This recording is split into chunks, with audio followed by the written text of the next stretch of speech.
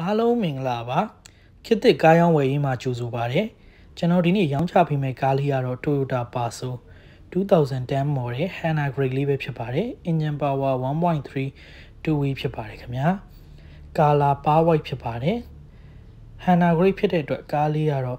HID headlight မီးသုံးပွင့်ဖြစ်မယ် fog light ပါမယ်ဗတ်မှန်နေလက်ကင်ဝင်းနေရွှေရောင်လေးတွေဖြစ်သွားမယ်ရှေ့ logo လေးပြောင်းသွားမယ်အလွိုင်းဝီးတွေဖြစ်သွားမယ် နောက်ပါဆို logo လေးလည်းပန်းစလုံးလေးနဲ့ဖြစ်သွားပါမယ်ဟန်နာဖြစ်တဲ့အတွက်ကားလေးရဲ့ရုပ်ထွက်ကတော့အတော်ချစ်စရာကောင်းပါတယ်ကားလေးရဲ့စေးတက်ရှင်ပိုင်းမှာလည်းတစ်စီးလုံးနှီးပါဘန်မာကလွဲပြီး original စီးသားများနဲ့ဖြစ်ပါတယ်ခင်ဗျာ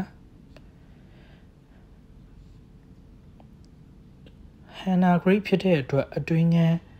ထိုင်ကုန်ခုံဆက် digital aircon smart key ဖြစ်သွားပါမယ်ထိုင်ကုန်ကြီးပြောင်းသွားပါတယ်